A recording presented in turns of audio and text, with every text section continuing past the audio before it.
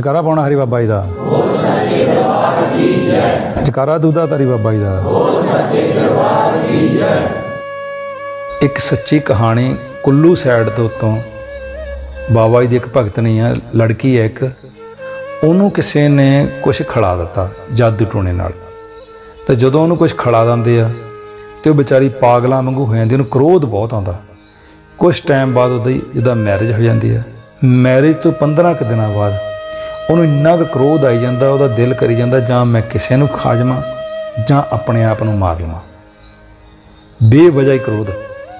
ਉਹ ਆਪਣੀ ਸਕੂਟਰੀ ਦੇ ਉੱਤੇ ਬੈਠ ਕੇ ਇੱਕ ਪੁਲ ਦੇ ਉੱਤੇ ਲੰਘਦੇ ਆ ਤੇ ਉਹ ਪਿੱਛੇ ਬੈਠੀ ਹੁੰਦੀ ਹੈ ਤਾਂ ਉਹਨੂੰ ਗੁੱਸਾ ਆਉਣ ਲੱਗ ਪੈਂਦਾ ਅਚਾਨਕ ਹੀ ਤੇ ਉਹ ਸਕੂਟਰੀ ਤੋਂ ਛਾਲ ਮਾਰ ਦਿੰਦੀ ਹੈ ਜਿੱਦਾਂ ਹੀ ਛਾਲ ਮਾਰਦੀ ਆ, ਉਹਦੀ ਜਿਹੜੀ ਜੀਭ ਆ, ਆਪਣੇ ਆਪ ਹੀ ਉਹਦੀ ਬਾਹਰ ਨੂੰ ਆਉਣ ਨੂੰ ਕਰੀ ਜਾਂਦੀ ਹੈ ਪਰ ਉਹਦੀ ਜੀਭ ਬਾ ਅੰਦਰ ਨੂੰ ਨਹੀਂ ਜਾ ਰਹੀ। ਤੇ ਉਹ ਡਾਕਟਰਾਂ ਕੋਲ ਵੀ ਲੈ ਕੇ ਜਾਂਦੇ ਆ। ਡਾਕਟਰ ਕੀ ਕਰਦੇ ਉਹਦਾ ਮੂੰਹ ਬੰਦ ਦਿੰਦੇ ਆ। ਪਰ ਉਹ ਘਰ ਆ ਜਾਂਦੀ ਹੈ ਮੂੰਹ ਬੰਦ ਦਿੰਦੇ ਕਹਿੰਦੇ, ਕੁਛ ਨਹੀਂ, ਕਿ ਜਿਹਦਾ ਦਿਮਾਗੀ ਅਪਸੈਟ ਆ, ਕਿ ਇਹਨੂੰ ਆ ਮੈਡੀਸਨਾਂ ਦਿਓ ਕੁਛ ਮੈਡੀਸਨਾਂ ਦਿੱਤੀਆਂ ਤੇ ਡਾਕਟਰਾਂ ਨੇ ਤਾਂ ਕੁਛ ਨਾ ਕੁਛ ਦੇਣਾ ਹੀ ਆ। ਜਦੋਂ ਮੈਡੀਸਨ ਖਾਂਦੀ ਹੈ ਤੇ ਘਰ ਆਉਂਦੀ ਆ, ਪਰ ਮੈਡੀਸਨ ਦਾ ਕੋਈ ਅਸਰ ਨਹੀਂ ਹੁੰਦਾ। ਜਿਹੜੇ ਉਹਦੇ ਚਾਰ ਦੰਦ ਹਨ ਉਹ ਤਿੱਖੇ ਹੋ ਜਾਂਦੇ ਬਹੁਤ ਜ਼ਿਆਦਾ ਲੰਬੇ ਲੰਬੇ ਬਹੁਤ ਜ਼ਿਆਦਾ ਸ਼ਾਰਪ ਪਰ ਉਹਦੀ ਜੀਭ ਸਾਰੀ ਬਾਹਰ ਆ ਜਾਂਦੀ ਹੈ। ਉਹ ਆਪਣੇ ਦੰਦਾਂ ਨਾਲ ਹੀ ਉਹ ਜੀਭ ਵੜ ਦਿੰਦੀ ਹੈ। ਥੋੜੀ ਜਿਹੀ ਜੁੜੀ ਹੁੰਦੀ ਹੈ। ਇੱਕ ਸਾਈਡ ਹੀ ਸਾਰੀ ਕੱਟ ਲੈਂਦੀ ਹੈ ਚਿੱਤ ਚਿੱਤ ਕੇ। ਇੰਨਾ ਕ੍ਰੋਧ ਆਉਂਦਾ, ਉਹਨੂੰ ਇਦਾਂ ਲੱਗੇ ਕਿ ਮੈਂ ਮੋਰਲੇ ਨੂੰ ਖਾ ਜਾਣਾ, ਜੇ ਕਿ ਮੈਨੂੰ ਕੋਈ ਰੋਕੂਗਾ ਵੀ। ਫੈਮਿਲੀ ਦਾ ਮਾਹੌਲ ਖਰਾਬ ਹੋ ਗਿਆ, ਡਰ ਦਾ ਮਾਹੌਲ ਹੋ ਗਿਆ। ਉਹ ਫਿਰ ਹਸਪੀਟਲ ਲੈ ਕੇ ਜਾਂਦੇ ਆ। ਹਸਪੀਟਲ ਵਿੱਚ ਇੱਕ ਉਹਦੀ ਨਰਸ ਕੋਈ ਵਾਕਫ ਹੁੰਦੀ ਉਹਨਾਂ ਦੇ ਪਰਿਵਾਰ ਵਿੱਚੋਂ। ਉਹ ਕਹਿੰਦੇ ਇਹ ਡਾਕਟਰੀ ਇਲਾਜ ਨਹੀਂ ਹੈਗਾ। ਤੁਸੀਂ ਇਹਨੂੰ ਕਿਸੇ ਸਾਧੂ ਸੰਤਾਂ ਕੋਲ ਲੈ ਕੇ ਜਾਓ। ਹੁਣ ਤੁਸੀਂ ਦੇਖੋ ਸਾਧੂ ਸੰਤ ਕੀ ਕਰਦੇ ਆ। ਸੰਤ ਕਹਿਣਾ, ਕਹਾਉਣਾ ਬਹੁਤ ਦੂਰ ਦੀ ਮੰਜ਼ਲ ਆ। ਜੇ ਸੱਚੇ ਸਾਧੂ ਹੁੰਦੇ, ਉਹਨਾਂ ਤੋਂ ਕੋਈ ਪੈਸਾ ਨਾ ਲੈਂਦੇ। ਉਹਨਾਂ ਨੇ ਕੀ ਸੋਚਿਆ? ਉਹਨਾਂ ਤੋਂ ਕਿਸੇ ਨੇ ਬੱਕਰਾ ਮੰਗਾ ਲਿਆ, ਕਿਸੇ ਨੇ ਕੁੱਕੜ ਮੰਗਾਇਆ, ਕਿਸੇ ਨੇ ਸ਼ਰਾਬ, ਕਿਸੇ ਨੇ ਮੀਟ। ਉਹ ਰਾਤ ਉਹਨਾਂ ਦੀ ਇੰਨੀ ਭਿਆੰਕਰ, ਉਹਦੀ ਜੀਭ ਮਾੜੀ ਜਿਹੀ ਜੁੜੀ ਹੋ ਸੀਗੀ। ਬਾਕੀ ਸਾਰੀ ਵੱਢ ਹੋ ਗਈ। ਤੇ ਜਿੰਨੇ ਵੀ ਉਹ ਸਾਧੂ ਸੰਤ ਸੀ, ਕਿਸੇ ਕਿਸੇ- ਕਦੀ ਕਿਤੇ ਜਾਂਦੇ, ਕਦੀ ਕਿਤੇ ਜਾਂਦੇ ਸੀ। ਹਿਮਾਚਲ ਪ੍ਰਦੇਸ਼ ਦੀ ਗੱਲ ਹੈ, ਕੁੱਲੂ ਦੇ ਨੇੜੇ ਦੀ। ਪਿੰਡਾਂ ਪਿੰਡਾਂ ਦੇ ਵਿੱਚ ਵਿਚਾਰੇ ਗਏ, ਰਾਹ ਸਾਰੀ ਘੁੰਮਦੇ ਰਹੇ। ਜਿੱਥੇ ਵੀ ਜਾਣ, ਲਿਆਓ 20000 ਲਿਆਓ 30000 ਲਿਆਓ 50000 ਸਾਰੇ ਪੈਸੇ ਲਈ ਗਏ, ਪਰ ਉਹ ਠੀਕ ਨਾ ਕੋਈ ਕਰ ਸਕਿਆ। ਉਹਦਾ ਕ੍ਰੋਧ ਹੀ ਨਾ ਸ਼ਾਂਤ ਹੋਵੇ। ਸਮਾਂ ਪਿਆ ਜਦੋਂ ਉਹ ਬੇਹੋਸ਼ ਹੋ ਗਈ ਖੂਨ ਨਿਕਲ ਨਿਕਲ ਕੇ ਸਾਰੀ ਬਾਡੀ ਉਹਦੀ ਲਿਬੜ ਗਈ। ਬਲੱਡ ਨਾਲ। ਤੇ ਉਹਦਾ ਪਤੀ ਜਿਹੜਾ ਸੀ ਉਹਨੂੰ ਚੁੱਕ ਕੇ ਵਿਚਾਰਾ ਦੌੜਾ ਭੱਜਿਆ ਫਿਰਦਾ, ਕਿਸੇ ਦਾ ਸਥਾਨ ਕਿੱਥੇ ਹੈ ਕਿਸੇ ਦਾ ਕਿੱਥੇ ਹੈ ਫਿਰ ਕੋਈ ਸਮਾਂ ਪਿਆ ਤੇ ਉਹ ਸ਼ਿਮਲੇ ਨੂੰ ਚਲ ਜਾਂਦੇ ਆ, ਲੈ ਕੇ ਉਹਨੂੰ ਉੱਥੋਂ ਸ਼ਿਮਲੇ ਦੀ ਜਿਹੜੀ ਵਾਟ 8 ਤੋਂ 10 ਘੰਟੇ ਦੀ ਹੈ ਜਦੋਂ ਡਾਕਟਰਾਂ ਕੋਲ ਲੈ ਗਏ, ਉਹਨਾਂ ਨੇ ਉਹਦੀ ਜਿਹੜੀ ਜੀਭ ਸੀਗੀ ਥੋੜੀ ਜੁੜੀ ਸੀ ਨਾ, ਬਾਕੀ ਤਾਂ ਕੱਟ ਹੋ ਗਈ। ਉਹਨਾਂ ਸਟਿਚਿੰਗ ਕਰ ਦਿੱਤੀ ਕਿ ਜੁੜ ਜਾਊਗੀ। ਮਾੜੀ ਜਿਹੀ ਜੁੜੀ ਸੀ, ਬਾਕੀ ਤਾਂ ਵੱਡੇ ਹੀ ਹੋ ਗਏ ਸੀ। ਸਟਿਚਿੰਗ ਕੀਤੀ ਤਾਂ ਉਹਨਾਂ ਨੇ ਮੂੰਹ ਬੰਦ ਦਿੱਤਾ ਉਹਦਾ। ਇੱਕ ਪਾਈਪ ਪਾਤਾ ਖਾਣੇ ਵਾਸਤੇ ਕਿਦਾਂ ਨੂੰ ਖਾਣਾ ਦੋ, ਕਿ 12 14 ਦਿਨਾਂ ਚ ਆਪੇ ਜੁੜ ਜਾਣੀ ਆ। ਹੁਣ ਜਦੋਂ 12 14 ਦਿਨ ਬੀਤਦੇ ਆ, ਉਹ ਬੁਰਸ਼ ਕਰਦੀ ਲੜਕੀ। ਸੈਂਖ ਦੇ ਉੱਤੇ ਜਦੋਂ ਬੁਰਸ਼ ਕਰਦੀ 14 ਦਿਨਾਂ ਬਾਅਦ ਮੂੰਹ ਖੋਲ ਕੇ, ਜਦੋਂ ਸੈਂਖ ਤੇ ਬੁਰਸ਼ ਕਰਦੀ ਤਾਂ ਉਹਦੀ ਜੀਭ ਆਪਣੇ ਆਪ ਟੁੱਟ ਕੇ ਸੈਂਖ ਦੇ ਉੱਤੇ ਡਿੱਗ ਜਾਂਦੀ ਹੈ ਉਹ ਹੁਣ ਜੀਭ ਦਾ ਰੰਗ ਇਨਸਾਨਾਂ ਵਾਲੀ ਜੀਭ ਨਹੀਂ ਹੁੰਦੀ ਜਿੱਦਾਂ, ਹੋਰ ਹੀ ਕਲਰ ਦੀ ਹੁੰਦੀ ਹੈ ਉਹ ਖੁਦ ਡਰ ਜਾਂਦੀ ਬਹੁਤ ਜ਼ਿਆਦਾ। ਤਾਂ ਉਹਦਾ ਪਤੀ ਜਿਹੜਾ ਹੁੰਦਾ ਉਹਦੀ ਜੀਵ ਚੱਕ ਕੇ ਫਿਰ ਸਾਧੂ ਸੰਤਾਂ ਕੋਲ ਜਾਂਦਾ, ਮਹਾਰਾਜ ਜੁੜ ਜਾਵੇ ਇਦਾਂ ਹੋ ਜਾਂਦਾ। ਕਿਤੇ ਕੋਈ ਹੈਲਪ ਨਹੀਂ ਹੁੰਦੀ। ਵਿਚਾਰੇ ਬਹੁਤ ਉਹਨਾਂ ਦੇ ਘਰ ਉਦਾਸੀ ਛਾ ਜਾਂਦੀ ਹੈ ਤੇ ਡਾਕਟਰਾਂ ਕੋਲ ਜਾਂਦੇ, ਡਾਕਟਰ ਕਹਿੰਦੇ, ਹੁਣ ਕਦੀ ਵੀ ਬੋਲ ਨਹੀਂ ਸਕਣਾ ਤੇ ਨਾ ਇਹ ਜੀਵ ਜੋੜਨੀ ਹੈ ਨਾ ਇਹ ਬੋਲ ਸਕਦੀ ਹੈ ਜਦੋਂ ਜਦੋਂ ਵੀ ਕਿਸੇ ਭਗਤ ਨੇ ਭਗਤੀ ਕੀਤੀ ਹੋਈ ਹੋਵੇ ਪਿਛਲੇ ਜਨਮ ਵਿੱਚ, ਪਰਮਾਤਮਾ ਜ਼ਰੂਰ ਉਹਦੀ ਮਦਦ ਕਰਨ ਆਉਂਦੇ ਆ। ਉਹ ਕਿਤੇ ਪਿਛਲੇ ਜਨਮ ਵਿੱਚ ਬਾਬਾ ਜੀ ਦੀ ਭਗਤ ਨਹੀਂ ਸੀਗੀ ਨਾਰਾਇਣ ਦੀ, ਕਿ ਬਾਬਾ ਜੀ ਜਗਤ ਦੇ ਪਾਲਣਹਾਰ ਆ। ਕੁਦਰਤ ਖੇਲ ਰਚਾਇਆ ਕਿ ਹੁਣ ਸਲੇਰਨ ਧਾਮ ਦੀ ਤਾਂ ਕੋਈ ਐਡ ਹੀ ਨਹੀਂ ਹੈਗੀ। ਆੜਾ YouTube ਤੇ ਹੀ ਪਾਉਣ ਲੱਗੇ ਵੀ 25 ਦਸੰਬਰ ਤੋਂ ਸਟਾਰਟ ਹੋਇਆ। 16 ਸਾਲ ਤੋਂ ਸੰਗਤ ਆ ਰਹੀ ਹੈ ਲੱਖਾਂ ਦੀ ਤਦਾਦ ਦੇ ਵਿੱਚ। ਲੰਗਰ ਚੱਲ ਰਹੇ ਆ, ਪਰ ਅਸੀਂ ਕੋਈ ਐਡ ਨਹੀਂ ਕੀਤੀ। ਆ ਵੀ ਕੋਈ ਐਡ ਨਹੀਂ ਹੈਗੀ, ਇਹ ਵੀ ਬਾਬਾ ਜੀ ਦੇ ਭਗਤਾਂ 'ਤੇ ਕਹਿਣ ਤੇ ਇਹ ਕਥਾ ਕਹਾਣੀਆਂ ਪਾਉਂਦੇ ਆ। ਸਾਡੇ ਕੋਲ ਤਾਂ ਹਜ਼ਾਰਾਂ ਹੀ ਦੁਨੀਆ ਆਉਂਦੀ ਹੈ। ਹਰ ਐਤਵਾਰ ਨੂੰ। ਹੁਣ ਉਹਦੀ ਪਿਛਲੇ ਜਨਮਾਂ ਦੀ ਭਗਤੀ ਜਾਗਣੀ ਸੀ, ਉਹਨੇ ਬਚਣਾ ਸੀ। ਕਿਸੇ ਨੂੰ ਮਿਲਦੇ ਆ, ਸੋਨੂੰ ਭਗਤ ਆਪਣਾ। ਉਹਨਾਂ ਦੇ ਗਾਂ ਵਿੱਚੋਂ ਵਿੱਚ ਰਿਸ਼ਤੇਦਾਰੀ ਵਿੱਚੋਂ ਕੋਈ ਦੱਸਦਾ ਕਿ ਸਲੇਰਨ ਤਾਂ ਮੈਨੂੰ ਲੈ ਜਾਓ। ਉਹ ਲੜਕੀ ਸਲੇਰਨ ਆਉਂਦੀ। ਅਸੀਂ ਉਹਨੂੰ ਜਦੋਂ ਇਸ਼ਨਾਨ ਕਰਾਇਆ, ਚਿੱਕਾ ਮਾਰ ਲੱਪਾਂਦੇ ਬਾਬਾ ਨੇ ਸਾਨੂੰ ਦਿਖਾਇਆ ਤੇ ਇਹਦੇ ਵਿੱਚ ਤਾਂ ਪ੍ਰੇਤ ਆਤਮਾ ਆ। ਕੋਈ ਇਦਾਂ ਕਰ ਰਹੀ ਆ। ਉਹਨੂੰ ਇਸ਼ਨਾਨ ਕਰਾਇਆ ਵਿਧੀ ਦਸੀ ਇਦਾਂ ਨਾ ਇਦਾਂ ਕਰੋ ਇਦਾਂ ਕਰੋ। ਤੇ ਬਾਬਾ ਜੀ ਨੇ ਸਾਡੇ ਕੋਲ ਕਹਾਇਆ, ਕਹਾਉਣਾ ਵੀ ਪਰਮਾਤਮਾ ਨੇ ਆ, ਅਸੀਂ ਆਪਣੇ ਮੂੰਹੋਂ ਨਹੀਂ ਕੁਝ ਵੀ ਕਹਿੰਦੇ। ਅਸੀਂ ਤਾਂ ਆਪਣੇ ਘਰ ਨੂੰ ਨਹੀਂ ਜਾਂਦੇ, ਜਦੋਂ ਬਾਬਾ ਜੀ ਕਹਿੰਦੇ ਚੱਲ ਜਾਓ ਤਾਂ ਚੱਲ ਜਾਈਦਾ ਨਹੀਂ ਤਾਂ 7 7 8 8 ਸਾਲ ਆਪਣੇ ਘਰ ਨੂੰ ਨਹੀਂ ਜਾਂਦੇ। ਬਾਬਾ ਜੀ ਨੇ ਕਹਾਇਆ, ਕਹਿੰਦੇ ਕਹੋ ਇਹਨਾਂ ਨੂੰ ਕਿ ਤੁਹਾਡੀ ਜੀਬ ਵਾਪਸ ਆਉਗੀ ਤੁਸੀਂ ਬੋਲੋਗੇ, ਅਦਾਸ ਨਹੀਂ ਹੋਣਾ। ਜਦੋਂ ਇਸ਼ਨਾਨ ਕਰਾਇਆ ਉਸ ਤੋਂ ਉਪਰੰਤ ਬਾਬਾ ਜੀ ਸਾਡੇ ਮੂੰਹੋਂ ਕਹਾਤਾ ਕਿ ਤੁਹਾਡੀ ਜੀਬ ਵਾਪਸ ਆਊਗੀ, ਤੁਸੀਂ ਬੋਲਿਆ ਵੀ ਕਰੋਗੇ। ਠੀਕ ਹੋਵੋਗੇ, ਘਬਰਾਉਣਾ ਨਹੀਂ। ਇਸ਼ਨਾਨ ਕਰਦੇ ਜਾਇਓ, ਜੋਤ ਜਗਾਇਓ ਧੂਪ ਕਰਿਓ। ਜਿਹਦਾ ਇਹਦਾ ਬਾਬਾ ਨੇ ਦੱਸਿਆਗਾ ਵਿਧੀ ਕਰਿਓ ਆ ਦਾਨ ਪੁੰਨ ਕਰਿਓ। ਪੰਛੀਆਂ ਨੂੰ ਆ ਖੜਾਇਓ ਮੱਛੀਆਂ ਨੂੰ ਆ ਦਈਓ। ਜੋ ਵੀ ਬਾਬਾ ਜੀ ਨੇ ਪਾ ਦਿੱਤਾ, ਉਹ ਦਾਨ ਪੁੰਨ ਦਾ ਉਹਨੂੰ ਰਸਤਾ ਦੱਸਦਾ। ਦਾਨ ਪੁੰਨ ਕੀਤਾ, ਸਹਾਈ ਹੁੰਦਾ। ਹੌਲੀ ਹੌਲੀ ਲੜਕੀ ਦੀ ਜੀ ਵਾਪਸ ਆਉਣੀ ਸ਼ੁਰੂ ਹੋ ਗਈ। ਸਮਾਂ ਪਿਆ। ਫਿਰ ਉਹਦੀ ਛਾਤੀ 'ਚ ਕੈਂਸਰ ਬਣਨਾ ਸ਼ੁਰੂ ਹੋ ਗਿਆ। ਜਦੋਂ ਦੇਖੋ ਕਿੱਦਾਂ ਮਾੜਾ ਟਾਈਮ ਫਿਰ ਕਿਸੇ ਨੇ ਉਹਨੂੰ ਕੁਝ ਕਰ ਦਿੱਤਾ। ਅਸੀਂ ਪਰ ਕਿਸੇ ਨੂੰ ਦੱਸਦੇ ਨੇ, ਇੱਥੇ ਰਾਮ ਹੀ ਆਉਂਦਾ ਸਲੇਰਨ ਧਾਮ। ਫਿਰ ਇਹ ਦੋਨੇ ਛਾਤੀਆਂ ਵਿੱਚ ਗਟੀ ਬਣ ਗਈ, ਬਹੁਤ ਜ਼ਿਆਦਾ, ਪੱਥਰੇ ਬਣ ਗਈਆਂ। ਦੋਨੇ ਛਾਤੀਆਂ ਗਟੀਆਂ ਬਣ ਗਈਆਂ, ਬਹੁਤ ਵੱਡੀਆਂ ਵੱਡੀਆਂ। ਜਿਹਦਾ ਲੋਹੇ ਦਾ ਹੁੰਦਾ, ਇਦਾਂ ਹੋ ਗਿਆ।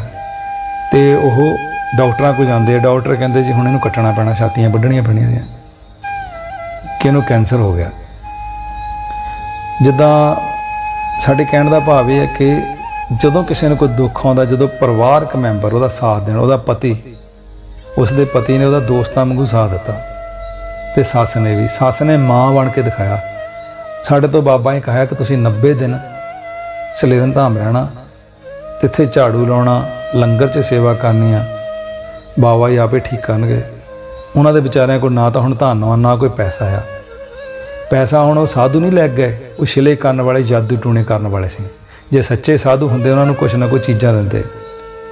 ਤੇ ਜਦੋਂ ਸਲੇਰਨ ਧਾਮ ਆਏ ਉਹਨਾਂ ਕੋਲ ਵਿਚਾਰੇ ਕੱਪੜੇ ਵੀ ਹੈ ਨਹੀਂ ਸੀ। ਸਲੇਰਨ ਧਾਮ ਦਰਬਾਰ ਵੱਲੋਂ ਉਹਨਾਂ ਕੱਪੜੇ ਦਿੱਤੇ ਗਏ, ਖਾਣਾ ਦਿੱਤਾ ਗਿਆ ਰਹਿائش ਦਿੱਤੀ ਗਈ, ਪਰ ਸੱਸ ਨੇ ਮਾਂ ਬਣ ਕੇ ਉਹਦੀ ਸੇਵਾ ਕੀਤੀ, ਨਾਲ ਰਹੀ ਸੱਸ।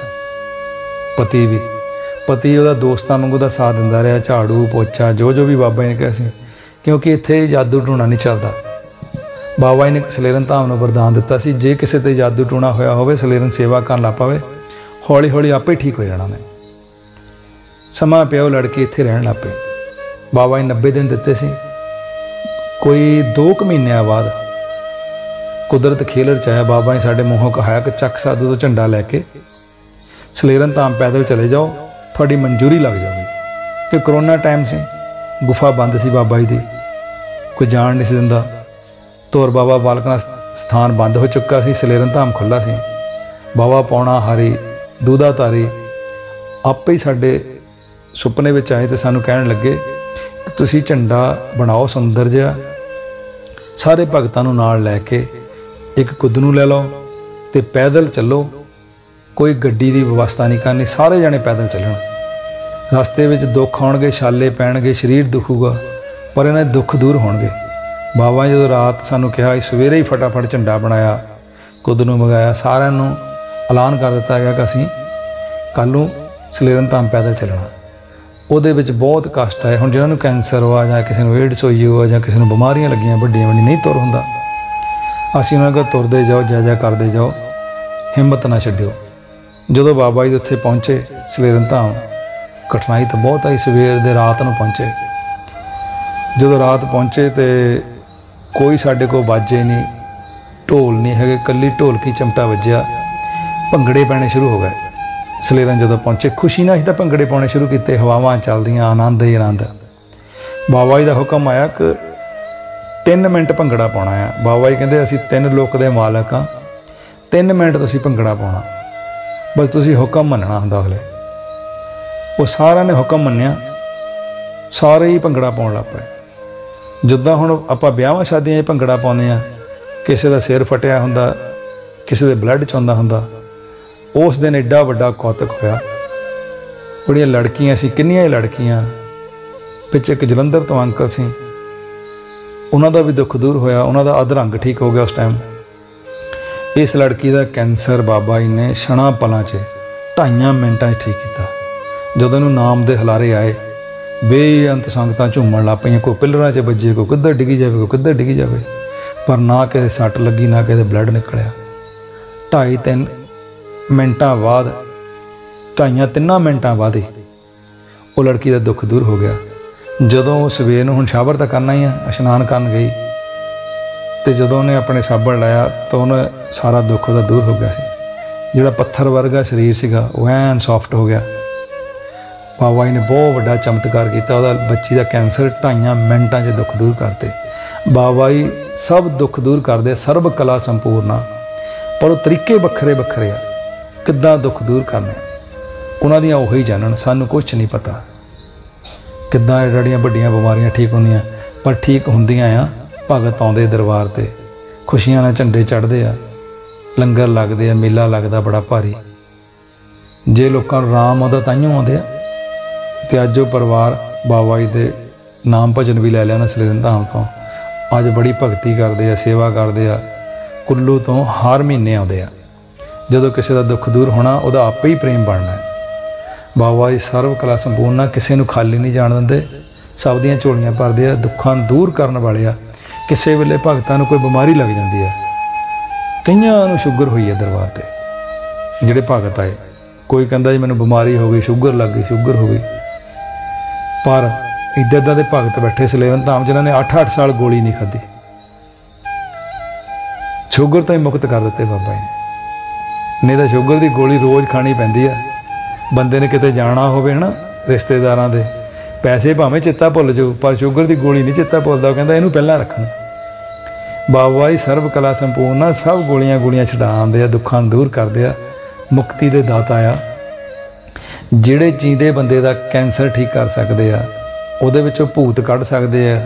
ਭਰੋਸਾ ਰੱਖਿਓ, ਅੰਤ ਸਮੇਂ ਤੁਹਾਨੂੰ ਭਵ ਸਾਗਰ ਵੀ ਪਾਰ ਲਗਾਓਗੇ ਭੂਤ ਕੀ ਚੀਜ਼ ਆ? ਦੁਰ ਆਤਮਾ ਹੀ ਆ। ਜਿਹੜੇ ਤੁਹਾਡੀ ਦੁਰ ਆਤਮਾ ਨੂੰ ਕੱਢ ਸਕਦੇ ਆ, ਉਹ ਪਵਿੱਤਰ ਆਤਮਾ ਨੂੰ ਵੀ ਤਾਂ ਪਾਰ ਲਗਾਓਗੇ ਬਸ ਭਰੋਸਾ ਰੱਖਣਾ। ਬੋਲੀਏ, ਸੱਚੇ ਦਰਬਾਰ ਕੀ ਜੈ? ਜਕਾਰਾ ਪਾਉਣਾ ਹਰੀ ਬਾਬਾ ਜੀ ਦਾ।